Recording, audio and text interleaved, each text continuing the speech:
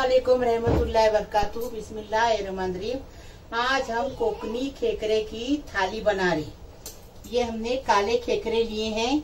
उसको जिंदे खेकरे ला के इसको हमने साफ़ किए हैं। ये खेकरे का आंगरा बोलते हैं और मतलब अंगोटा और ये पेट है हाँ। ये हमने साफ़ किए हैं। दो बड़ा चम्मच भर के घी डालेंगे। घी में खेकरा बहुत टेस्टी और अच्छा लगता है। हाँ आधा किलो हमने कोलम चावल लिए हैं। जीरा पुलाव बनाएँगे। एक टेबल स्पून हमने एक टेबल स्पून जीरा लिए हैं। स्वाद अनुसार नमक डालेंगे। खेकरे का बता रहे हैं ये हम जीरा पुलाव का बताए। जीरा पुलाव के अंदर एक बड़ा चम्मच भर के घी डालेंगे। ये हमने चार प्याज को चॉप किए हैं।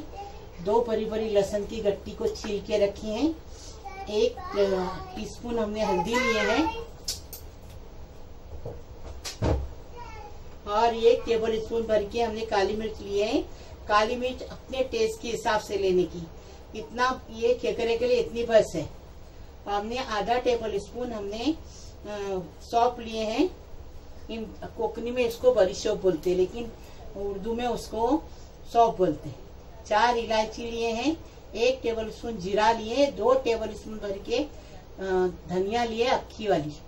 इसमें ऐसी ये भूनने का रहता है। और ये हमने पाँच टेबल स्पून भर के सूखा खोपरा लिए आप गीला भी ले सकते ये इतनी चीज़ें को भूनने का। भून के बाद में पीसेंगे। ये लहसन डालेंगे और पीसेंगे।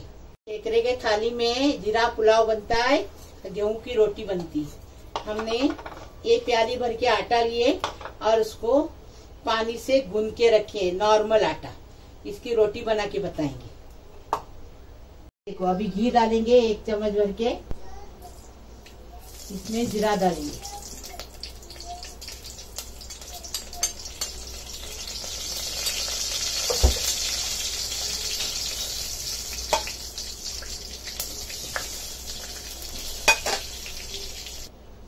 अभी चावल डालेंगे और चावल को अच्छे से जीरा घी के अंदर भुनेंगे।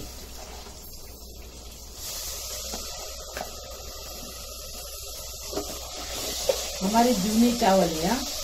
तो पानी इसको ज़्यादा लगेगा। अभी तीन गिलास पानी डालेंगे। ये चावल को पानी ज़्यादा लगते हैं हाँ? जूने चावल।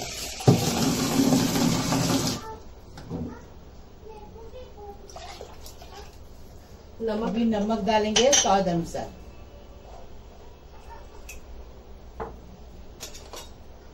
अभी चम्मच चलाएँगे। और साइड में रखेंगे और ये मसाला भूनने लेंगे। केकड़े का सालन बनाने लेंगे। ये चावल का पानी जब तक सूखता नहीं तब तक पकाएँगे और चावल का पानी सूखने के बाद में बताएँगे। ये मसाला भूनेंगे तवा गरम किए। अब ये मसाला भूनेंगे और ये प्याज भी गैस के ऊपर भून के लेंगे। ऐसे भून के लेंगे।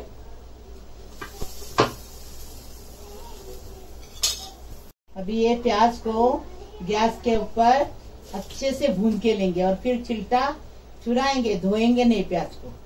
ये दादी माँ का नुस्खा है। प्याज भून के हो गया। अभी इसको निकालेंगे। इसका बाहर का छिलका निकालेंगे और पीसने लेंगे मसाले के साथ। मसाला भुने ना उसके अंदर पीसेंगे। यहाँ जीरा सौंप और इलायची। ये भून के लिए काली मिर्च भी है। ये हो गई अच्छे से भून के। और ये भी इसमें लहसन भी डालेंगे और ये जो है इसका छिलका निकाल देंगे और इसको भी इसके साथ में डालकर पीस लेंगे। इसका एक फाइन पेस्ट बना लेंगे। थोड़ा सा पानी डाल के इसको अच्छे से पीस लेंगे, फिर बताएँगे। इसमें प्याज भी ऐड करेंगे ये वाला। अभी खेखरा बनाएँगे, इसमें घी डाल दिए। प्याज डालेंगे, प्याज के साथ नमक डालेंगे।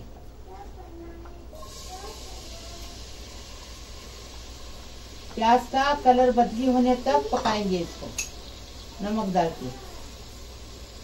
और मसाला ऐसा भुनेंगे ना मसाला सूखा सूखा पीसेंगे तो भुनने से इतना टेस्टी लगता है पूरे घर में खुशबू आती है। चावल का पानी अच्छे से सूख गया है अभी इसको कवर करेंगे और इसको स्लो गैस पे पाँच से सात मिनट पकाएँगे। इसका कलर ऐसा ही बदली करेंगे ज़्यादा नहीं हाँ देखो। अभी हम हल्दी डालेंगे और ये मसाला पीस के लाए ना, वो लेके उसके अंदर अच्छे से भुनेंगे। अच्छी खुशबू आने तक भुनेंगे।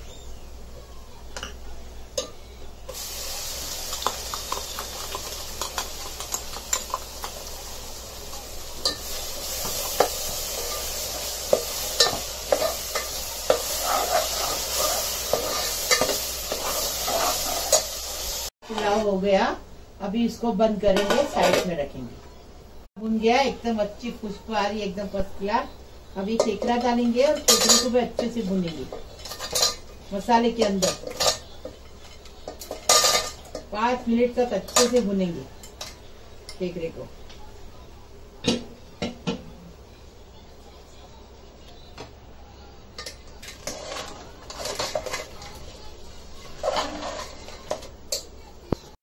अंदर पाँच मिनट भुने, अभी ढककर रखेंगे। हमने नोस्टिक बर्तन इसके लिए नहीं लिए, ये ठेकरा है। इससे बर्तन में खरच आ जाएगी। इसके लिए हमने ये जर्मन की हंडी ली है।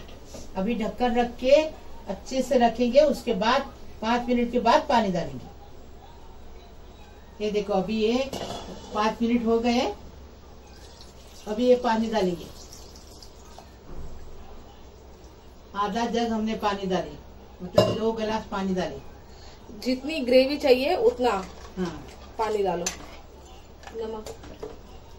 नमक स्वाद अनुसार डालेंगे।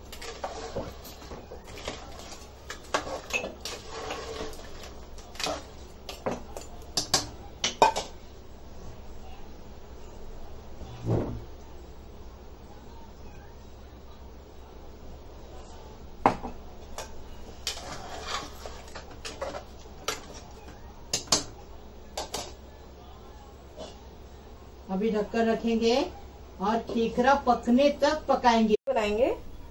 तो ये जो आटा है, थोड़ा सा हाथ में ऑयल लगाएँगे। नॉर्मल जो रोटी के लिए आटा गूंथते सेम वही आटा गुना हुआ है। इसको अच्छे से दो से तीन मिनट और अच्छे से इसको गूंद लेंगे। इससे जो रोटी है, बहुत ही सॉफ्ट और नरम बनती है। अगर आप आटा गूंद कर उसको एटलीस्ट पंद्रह से बीस मिनट अगर रख देते हो ढककर तो उससे रोटी जो है, वो बहुत ही मुलायम और सॉफ्ट बनती है। तो अब इसको गूंदेंगे। लिए, अब इसके पेड़े बना लेंगे। इसमें इसको सूखे आटे में ये पेड़े को डालेंगे और इस तरीके से इसको ये हाथ से प्रेस करेंगे और ये हाथ से टर्न करेंगे। ये देखिए, इस तरीके से। सबका अलग अलग तरीका होता है बनाने का। मम्मी जो बनाते हैं, वो उसके अंदर वो पेड़ा भी बनाते हैं, वो भी बना के दिखाती हूँ। ये देखिए, हो गया। थोड़ा सा आटा इसमें डस्ट करेंगे। आटे में इसको डिप किए। अब हल्के हाथ से खाली। हल्के हाथ से आपने इसको ये देखिए। हल्के हाथ से ही ये अपने आप ही राउंड राउंड घूमते जाती है और इसका शेप गोल आता है।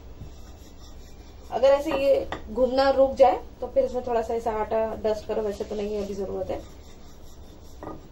ये देखिए, ये अच्छे से अभी हो गई है। तो अभी इसको अभी सेकेंगे। देखिए, यहाँ पर गर्म करने के लिए रख दिए है। जो है, अच्छे से गर्म हो गया है। अभी इसके ऊपर रोटी डालेंगे। और इसमें हल्के हल्के से बबल्स आने लगे, तब इसको टर्न करेंगे। तो यहाँ पर देखिए इसमें हल्के हल्के से बबल्स आ गए, अब इसको टर्न करेंगे।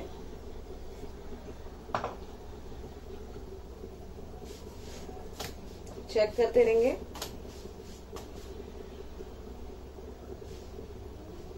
कोई भी कॉटन का कपड़ा लेना नायलॉन वगैरह का कपड़ा नहीं। इसको अच्छे से सेकेंगे यहाँ से। पर थोड़ा सा ऑयल लगाएँगे। हल्का सा ऑयल लगाएँगे।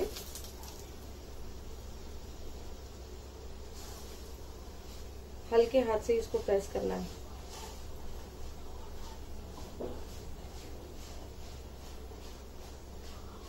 ये देखिए।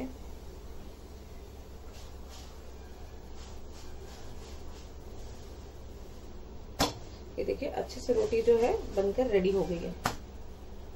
तो अब इसको निकाल लेंगे।